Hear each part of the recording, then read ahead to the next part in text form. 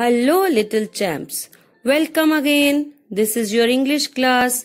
I'm fine and hope you all are fine and preparing for the exams. Yes, are you preparing?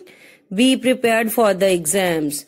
Now be ready with your English textbook that is new buzzword textbook.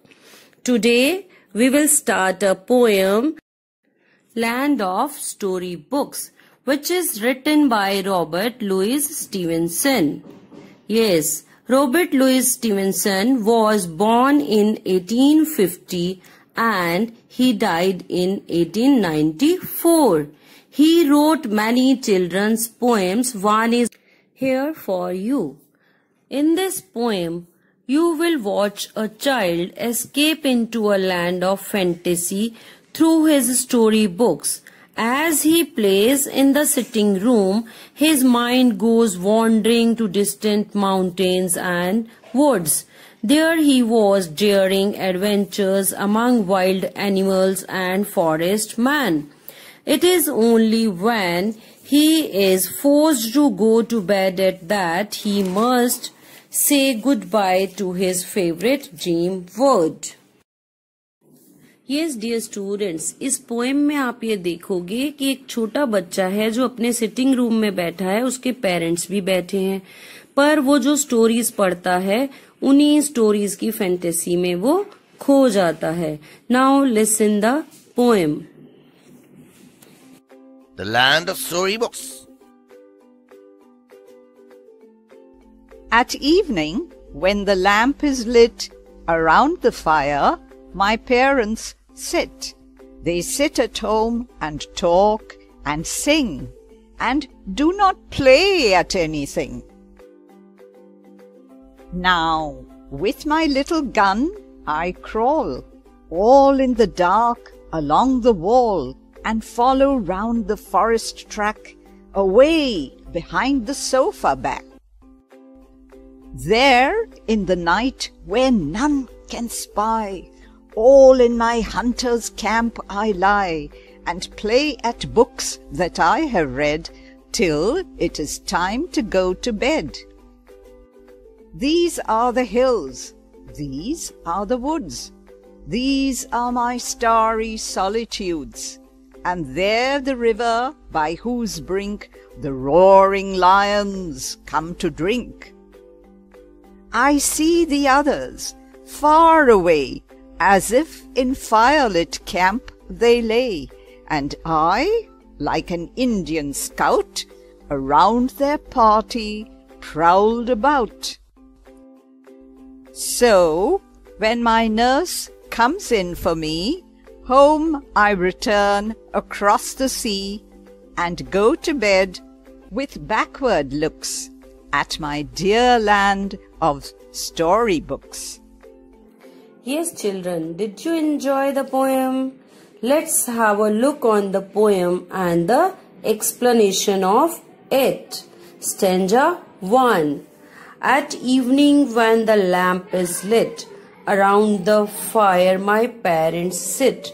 They sit at home and talk and sing and do not play at anything. Yes, dear students, in this stanza you have seen that the child describes the evening time when his parents simply relax near the fireplace and pass the time by talking and singing. On the other hand, the child is still full of energy and he wants to do some adventurous activities. Hmm.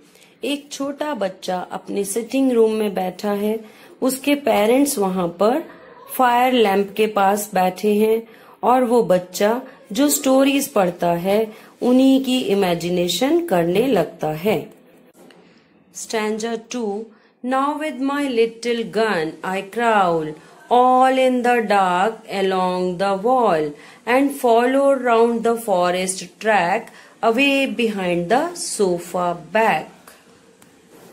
Hmm. Here the child has created the plot of his land of story books. a forest track in the dark between the wall and the sofa apart from what his parents are doing. Yes, यहाँ पर बच्चा ये करता है जैसे वो stories में पढ़ता रहता है कि फॉरेस्ट में रास्ता बना हुआ है जंगल में जाने के लिए, वो अपने सोफा और वॉल के बीच में ही अपने मन में उस तरह का पाथ क्रिएट करता है now let's read the stanza number three there in the night where none can spy All in my hunter's camp I lie and play at books that I have read till it is time to go to bed.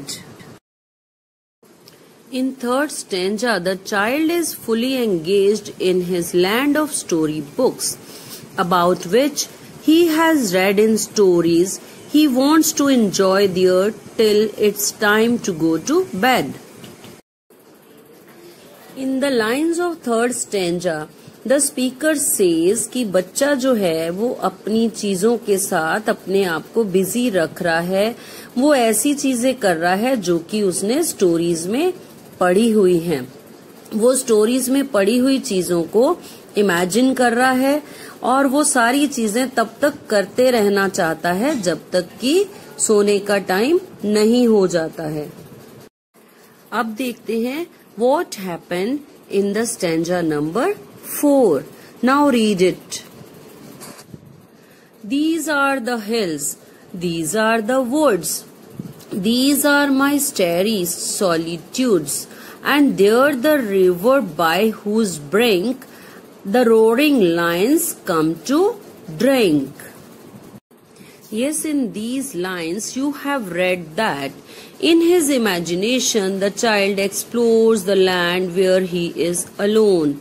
Hills and woods are there, and animals come to the river bank to drink water. Hmm. Students इसमें आपने देखा कि उसके parents बैठे हैं और वो बच्चा जो है स्टोरीज में पढ़ी हुई चीज़ों को इमेजिन करता है और वो इमेजिन करता है कि वो एक ऐसी लैंड पर पहुँचा है जहाँ पर फॉरेस्ट है और एनिमल्स आते हैं रिवर बैंक पे पानी पीने के लिए वो इन सब चीज़ों को इमेजिन करता है कि वो अकेला ऐसी जगह पर चला गया है एडवेंचर करने के लिए और वो वहाँ पर अकेला बहुत खुश है। ये देखिए, आप उसको एडवेंचर करते हुए देख भी सकते हो। Now read the stanza number five I see the others far away as if in fire lit camp they lay and I like to an Indian scout around their party prowled about Yes, here we can observe the child's imaginary power that like a spy he is able to track some people lying in a distant camp around the fire without getting noticed. यहाँ बच्चे की हम imaginary पार को देखते हैं जो लोग forest में हंटिंग करने जाते हैं और कैंप फायर लिट करके बैठे हैं उनको इंडियन स्काउट बन के वो ढूँढने जाता है। Now read the last and the six number stanza of the poem so when my nurse come in for me home I return across the sea and go to bed with backward looks at my dear land of story books Now see what you have read in this last stanza. In the final stanza, as the evening is ending, the child adventurous journey into the land of the storybook has also come to an end. The child unwillingly returns to the real world with his mother, giving backward looks to the story land hoping to come back. Next evening.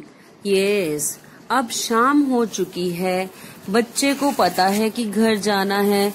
उसकी माँ उसको वापस लेने आई है लेकिन वो वापस अपनी इमेजिनरी चीज़ों को अपनी इमेजिनरी स्टोरी थिंग्स को देखता हुआ जा रहा है गुड बाय करता हुआ पर उसका मन नहीं है जाने को पर वो एडवेंचरस चीज़ों की याद कर रहा है और ये सोच रहा है कि कल इवनिंग में मैं दोबारा यहाँ पर आऊँगा Yes, dear students, you must have enjoyed the poem Land of Storybooks. Yes, dear students, Now you must have understood the meaning of this poem, a boy's imagination of the story books. The things which he read in the stories, he is imagining all these things at his home. Now you have to learn this poem for the exams. Thank you and have a nice time. Stay home, stay safe.